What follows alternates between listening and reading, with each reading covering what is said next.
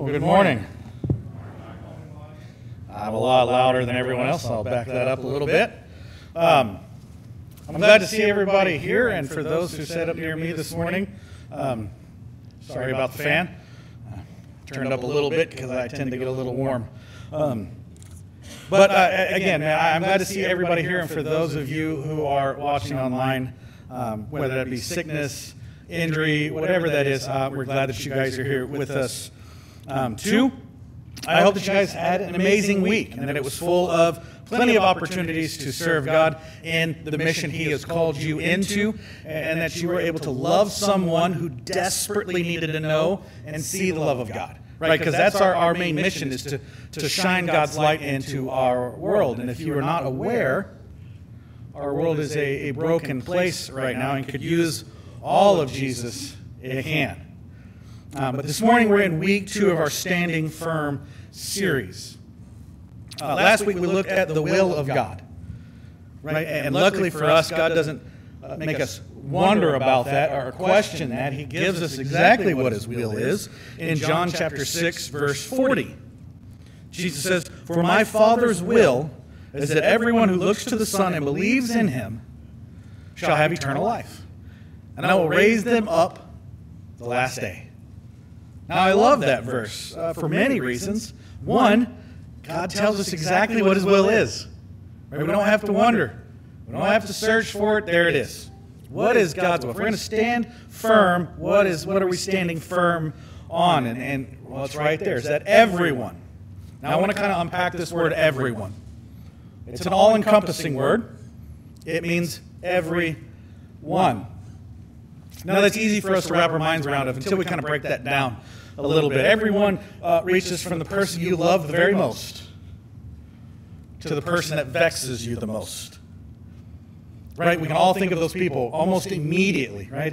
Especially that, that one family member that when the phone rings, you, oh, you, you cringe. You, you let it ring a couple extra times just in case they don't want to leave a message. Um, if you haven't figured out who that person is, it might be you. Um, no, I'm just kidding. But that's what everyone is. Everyone means everyone. God's will is for everyone to know Him. And to not just know Him, but know Him intimately, like we do, so that they would have salvation. And salvation means an eternity with Him. Right? Everlasting bliss, no more pain, no more suffering, no more energy, and just joy. That's what God's will is. It's for everyone to know Him and to spend an eternity with Him. Now, this week we're going to be studying uh, what it looks like to stand firm in God's works. Now, that's important. Stand firm in God's works, not in your works. But we're going to unpack that as we go. Before we do, let's open up with a word of prayer. Uh, dear Heavenly Father, God, as we begin to dig in uh, this morning, and make every ear read, uh, ready to hear every mind ready to understand, and every heart made ready to accept your message today. May the spirit of wisdom and understanding flow openly and freely. And God, may you bless everyone that hears your word. God, we thank you. We love you. It's in Jesus' name. Amen. Now, the greatest work that God could have ever done for us, He's already done. Right? Any, the best thing He could ever do, He's already done it. And in his immeasurable uh, love, God saw fit to give us a way back to him and to his good graces. And we find this in John chapter 3, verses 16 through 18. Jesus said, For God so loved the world that he gave his one and only Son, that whoever believes in him shall not perish but have what? Eternal life. For God did not send his Son into this world to condemn the world, but to save the world through him. Whoever believes in him is not condemned, but whoever does not believe stands condemned already, because they have not believed in the name of God's one and only Son. So this is God's work. Like the best thing God could have ever done, this is it right here. Right? He's already done it for us. He's done all the legwork for us. And, and it, it is in the work done by Christ on the cross that we can begin to understand what it looks like to stand firm in his works. Right? You see, God loves his creation so much that he was willing to sacrifice himself in order to bring a sense of peace and forgiveness between himself and his creation. Now, I hope that you've been paying enough attention that you've caught all the things that God is doing and has done. Now, understand that there's nothing that you have done that, that guarantees you that eternal uh, life, right? We, we, we make our confession, right? We, we follow Christ. We're baptized in that. Outside of that, that one decision that you make, but that one decision simply enters you into God's work. Work He's already done for you. God's still doing all of the legwork, but for some reason, He's extended a hand and said, Come on, you can come with me. Now, as Christians, we strive to imitate Christ in everything we do, or at least that's our hope. And this has to include the act of ultimate forgiveness that is found in Christ alone. This requires action on our parts. And this will be easier said than done. However, by doing our very best to imitate Christ, we are in return fulfilling God's will for his people by introducing Christ into a dark and broken world. Look at John chapter 9, verses 4 through 5. As long as it is day, we must do the works of him who sent me. Night is coming when no one can work. While I am in the world, I am the light of the world. We walk by faith in Christ. We are, in fact, the light unto the world. You are God's representatives. Or, how about you are God's ambassador to the world? Without you, that person may never have a chance to, to encounter God. That is the way we should look at every encounter we have as as if, if it wasn't for you, if you weren't there, they might not. Right? That idea that if you only had one day left, one day left on this earth, what would you do? So, how do we stand firm in God's works? First, you must praise God in everything. Praise God in everything. Paul lays it out for us in Romans chapter 8, verse 28. Paul says, And we know that in all things God works for the good of those who love him, who have been called according to his purpose. Again, not your purpose, his purpose. If we understand this verse, uh, then we have to come to grips with the idea that praising God in the hard times is something that is not just suggested, it's more of a guarantee. See, it's, it's easy to praise God when everything is going the way you think it should. But in the moment that your life turns from bliss to a living nightmare, that is when you find out how deep your faith in God really is. I have a friend um, who suffered one of the greatest losses I think any parent could. Um, their son committed suicide. And they have suffered um, from that very moment till today. But one thing that, that they relied on was their faith in God. Said that no matter how bad it got, no matter how dark it got, they knew for a fact God was there. It's the only reason they could wake up in the morning. It's the only reason they could take that next step. See, and it was in that suffering. And I don't think you, you can suffer any greater loss than that of a child. But it was in that suffering that their faith was not only tested, but it grew deep. And it grew wide talk about a foundation on solid service. No matter the storm of life, they knew for a fact they could survive it. The hardest thing that she ever had to do was give God praise in that moment. Now, we have to continually chase after God. We talked about that in the last series because uh, when we chase after God, then we are not focused on chasing after worldly things because, well, God calls us past worldly things. This is one way that we can begin to praise God in everything. Because when God is in everything, uh, then, you know, He's the only thing you know. I like the way uh, Pastor Rick Warren put it. He said, Happy moments, praise God. Difficult moments, seek God. Quiet moments, worship God. Painful moments, trust God. every moment, thank God. Now you may be saying, well, that's really easy to say, right? You don't know what I've suffered. The thing you may not know about uh, Pastor Rick Warren is his son committed suicide. And it was after that he wrote um, several articles and things that he put out, and that's where this comes from. Was in his suffering through this, he came up with this idea that in the happy moments, you praise God. In the difficult moments, you seek Him. Quiet moments, worship God. Painful moments, trust God. And every moment, thank God.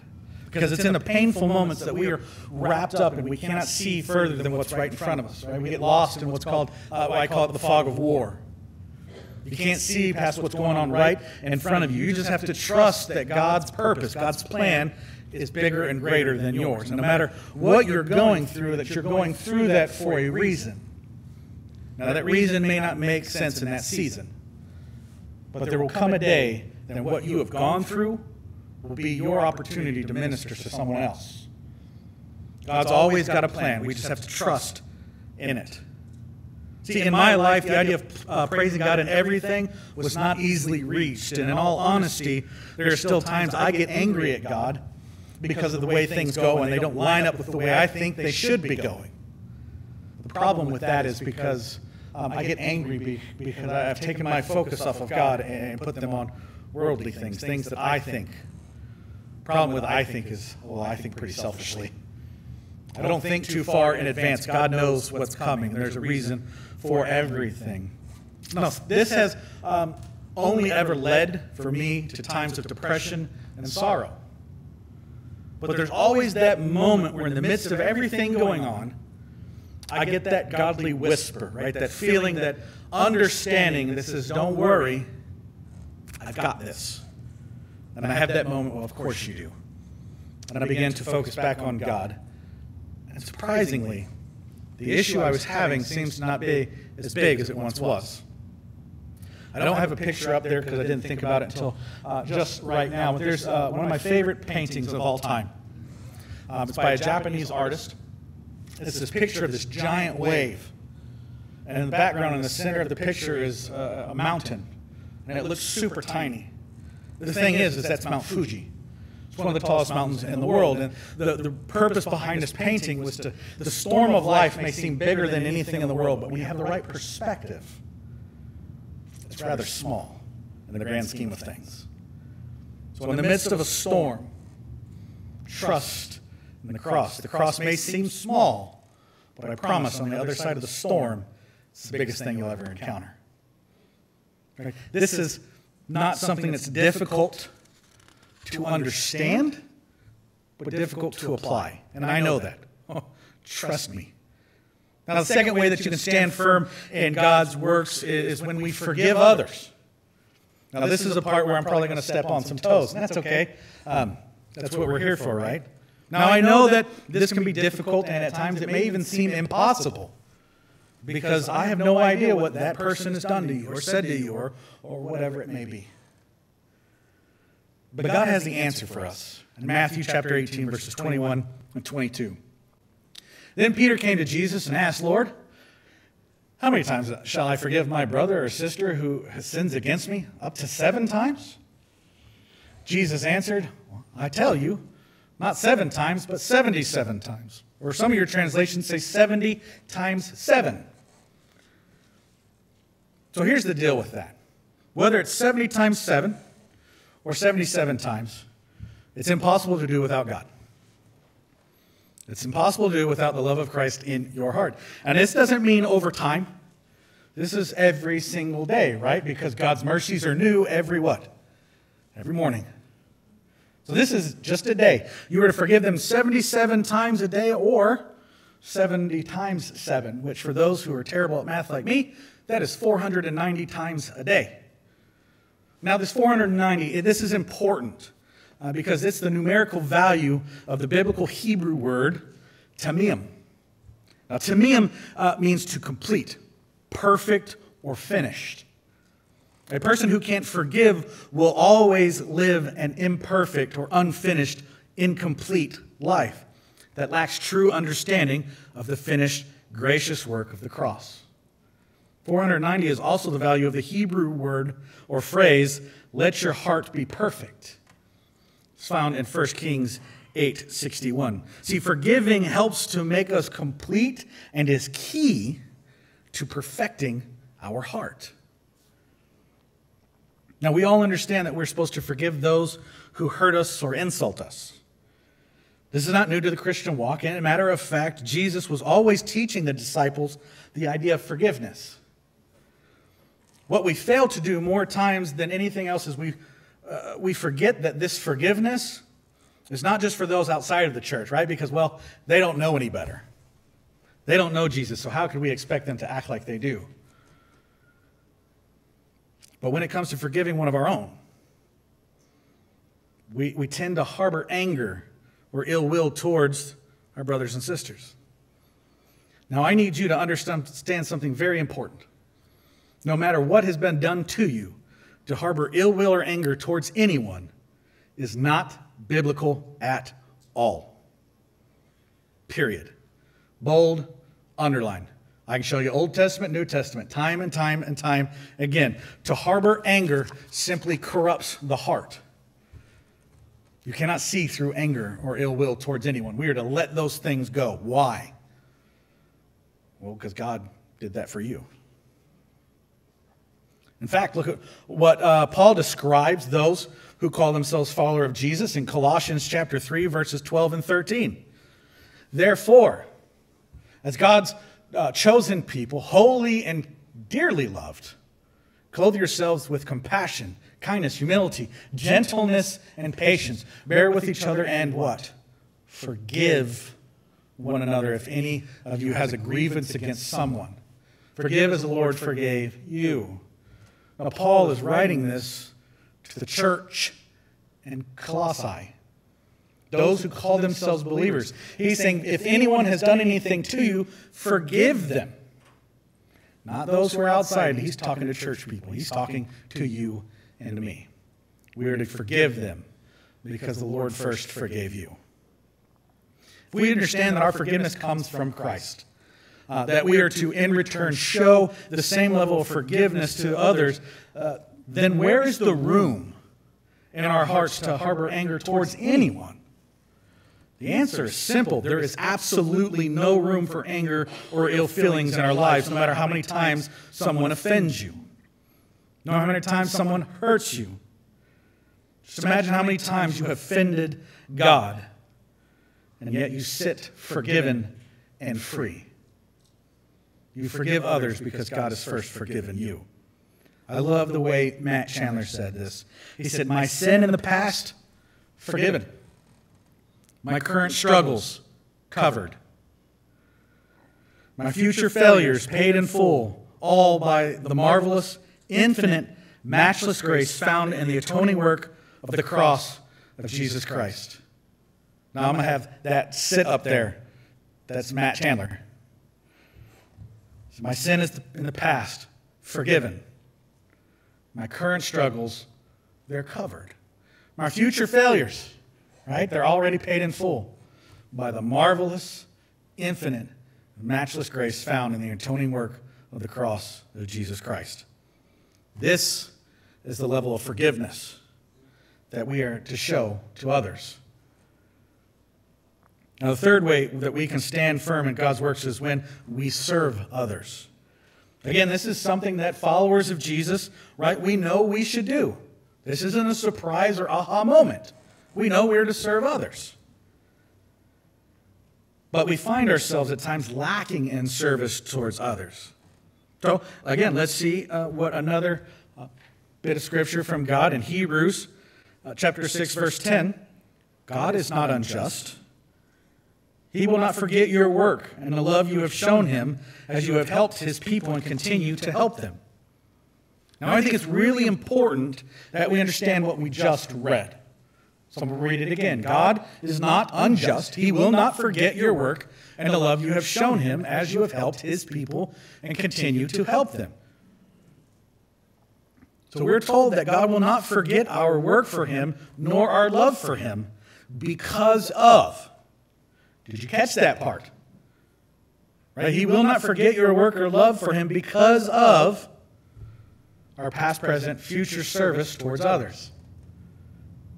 I believe that our world is in the situation it is in uh, for many reasons, but uh, mainly because as a society, we've become some of the most self absorbed people in history.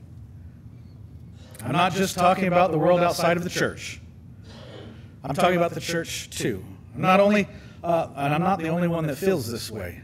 Uh, Pastor David Platt said, we are settling for a Christianity that revolves around catering to ourselves when the central message of Christianity is actually about abandoning ourselves. We are settling for a Christianity that revolves around catering to ourselves when the central message of Christianity is actually about abandoning ourselves. Now, when we are putting others first in our lives, then we are living as Christ lived. Right? We all say we want to be like Christ. We want to imitate him to our world. Well, why don't you start serving others? Putting others before yourselves. Right? Some easy ways to get directly involved with doing that is serving opportunities within the church. If you don't know of a serving opportunity, that's simply because you have not asked. there are places where we can plug you in today.